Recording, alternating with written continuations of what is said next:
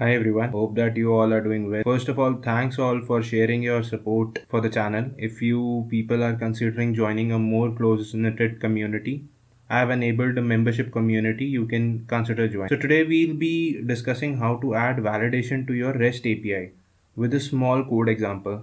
So first let's let me tell you that what is validation. So validation basically is being provided that uh, whenever your API is getting hit, uh, we try to validate the data and then we proceed further for the uh, DB calls or maybe what, what whatever data has been requested for that API, right? But uh, Spring Boot has provided, Spring has basically provided a validation with a dependency. So basically it, it adds on to your APIs only that before you hit your uh, REST API, the data is being validated and if the data is incorrect, the error or exception would be thrown to it. It is basically that we are not going into the process of uh, using the data inputs and performing some operations and then validating the data but it is done beforehand only. The validation is being performed beforehand only. When your REST endpoint has been hit by someone, the data is being validated beforehand, before going into the uh, process of that data and then validating it. We are not, uh, here what we'll do is we'll not uh, validate the data by ourselves manually. It would be validated by Spring itself. So how we can do it? Let's uh, jump to a coding example uh, let's perform the coding example but before we jump into writing the code uh, if you find my videos informative and if you learn something out from my videos please do like share comment on the video and please if new to the channel please subscribe and press the bell icon. So let's go to the IDE and let's create a project a new spring starter project. And let's name it as validation right? And java version is 17 let's go on next here actually we are uh, doing a very small example. So we are not performing any database operation. I am just making a rest endpoint. So let's use spring web. And we also require validation api uh, dependency. So let's finish it up and let's the let the code get in so we can see that the project has been imported. Let's uh, open the pom.xml and let me show you the dependencies that we have added to the project.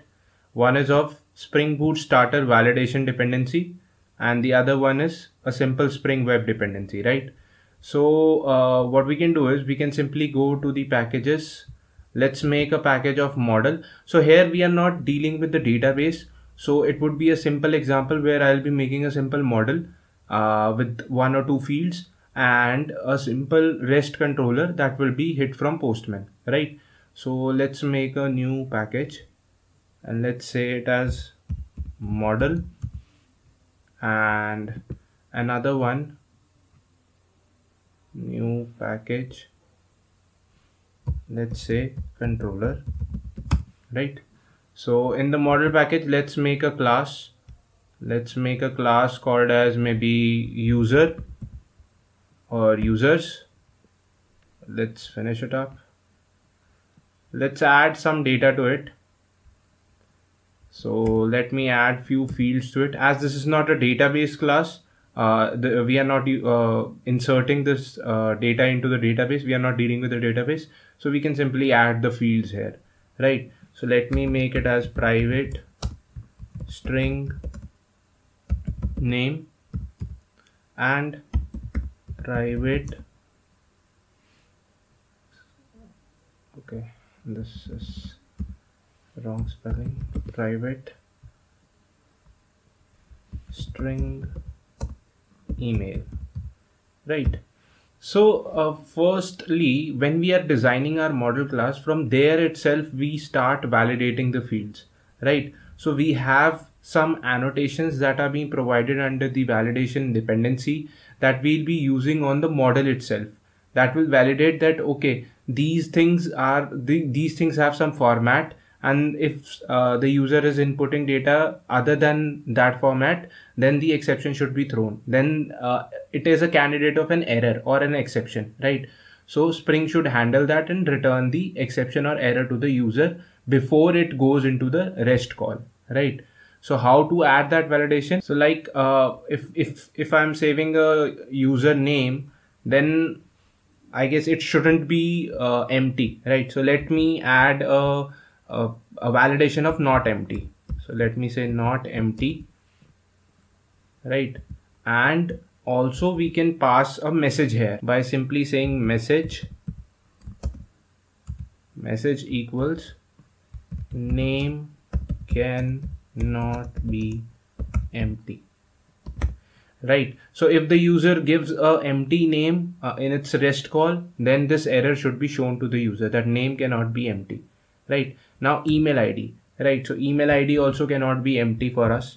So let me first put in a simple validation of not empty. Right?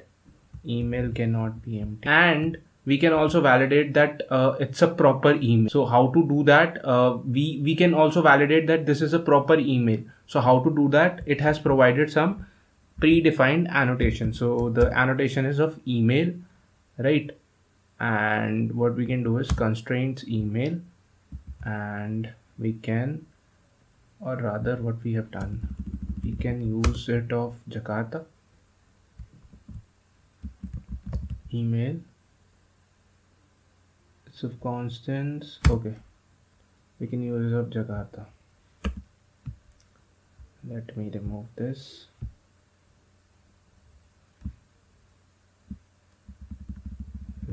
let me say at the rate. Email. And we can have message. Right. And we can simply say not valid email. Right. Or more generically email should be valid if the person enters a uh, invalid email then this error should be shown to the user right? So let me now make getters and setters. So let's go on source and let me generate the getters and setters. Right now we don't require it but yes we should use it right? We should make a proper model class. Uh, right. So the validation gets started from our model class itself. So how to do that? You can simply mark a few of the you can use few of the annotations that are being provided by validation uh, dependency and you can mark your fields with that right? Here we have done it for name and email id that email id should be valid and email id should not be empty and name should not be empty. You can do it for any of the fields that you are adding right. So let's go to the controller class and let's make another class for uh, handling the rest controller. So let's say user rest controller. And we can mark this as a rest controller first. Rest controller. Now uh, we have to make a method right of posting uh, we have to make a method of posting the data right? So let's mark this as post mapping and let's say in say public we can return the response entity right? Response entity and we can say create user right? Now whatever we are ex expecting what are whatever we are accepting from the user right so it should also be validated or it should also be told to the controller that these this object that has been getting as an input to this rest call should be validated right? For that what you have to do is you have to mark this as at the rate valid right? You have to mark this as at the rate valid and also at the rate request body and we should have the user object right? We have the user object that we have defined users. It was users right? Yes users and user right? So this is how you define uh, the let me remove the un unwanted imports. We don't need this.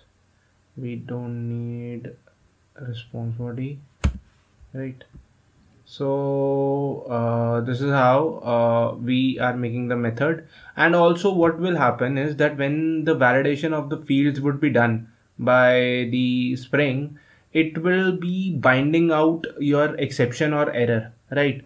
So that binding of exception or error should be handled by you in your controller call. So what we can do is we can also accept binding result or we can also pass it as a method parameter. Let me pass binding binding result right? Binding result right? So uh, now what we have to do is we have to first check that uh, the binding results doesn't have any exception or error so if in case your data is not valid that you have given as an input to your REST call, then binding result would have the exact exception or error that that is occurring in your call. So if we apply an if condition and we say that binding result dot has error if it has an error then what we have to do is we have to return the response entity uh, response entity uh, response to this API and give that exact error to the user. That what is the exact error that is occurring in your uh, rest call as you have given a invalid data to the call. So what we can do is return new response response entity and then we can pass the binding result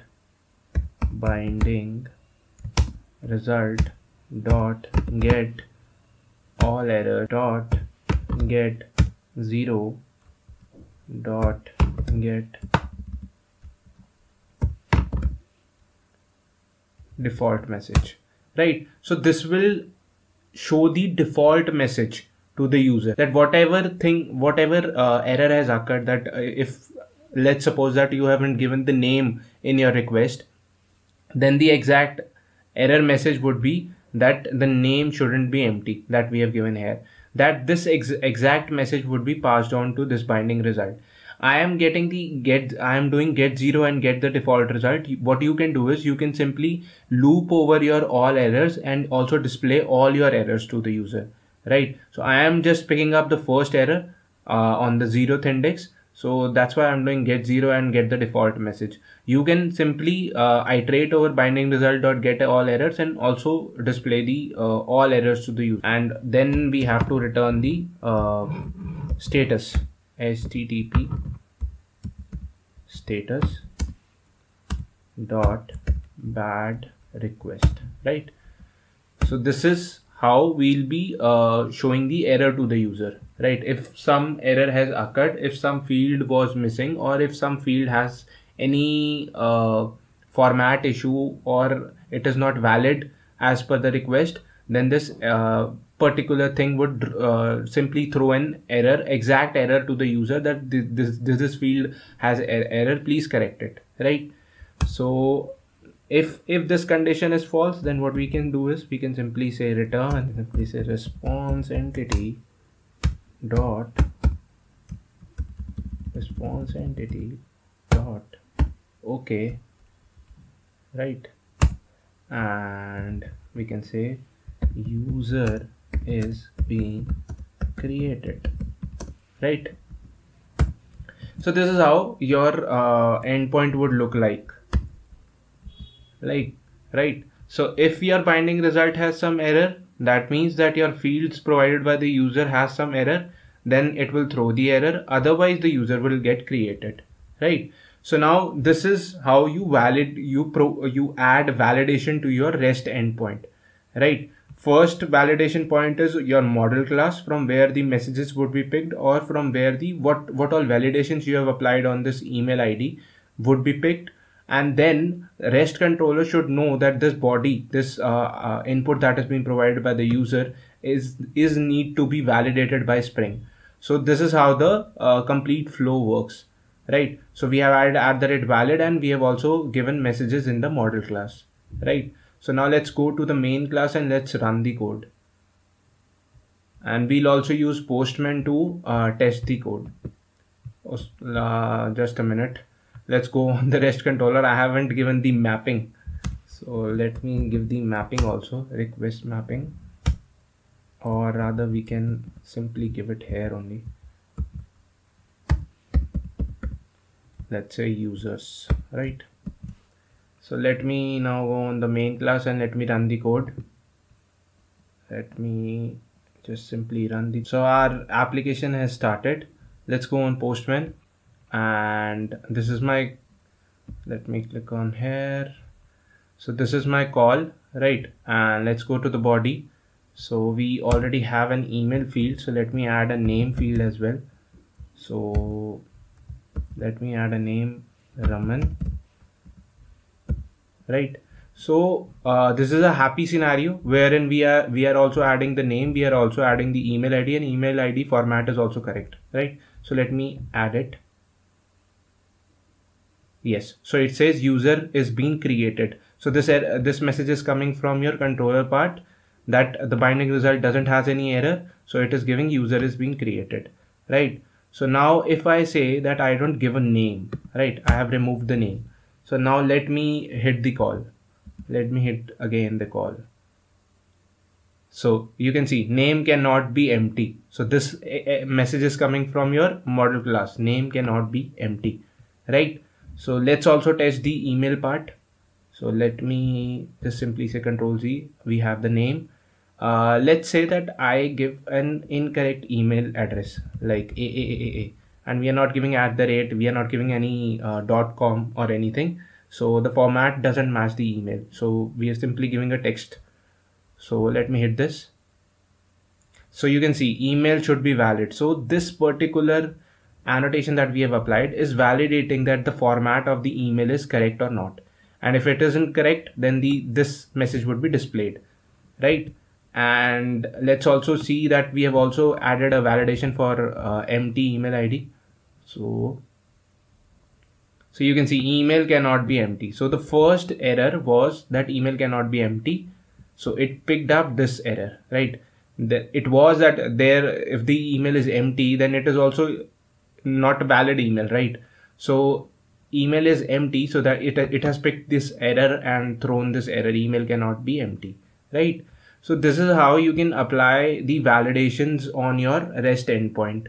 So this was it from this video. Hope that it was useful and informative for you people. If you are willing to uh, join the our close knitted community and wherein we will have some live sessions as well so you can consider joining by clicking on the join button on my channel and hope that we, this video would help you out. Uh, if you find my videos informative please do like share comment on the videos. And if new to the channel please subscribe and press the bell icon. Hope to see you in the next video. Till then happy learning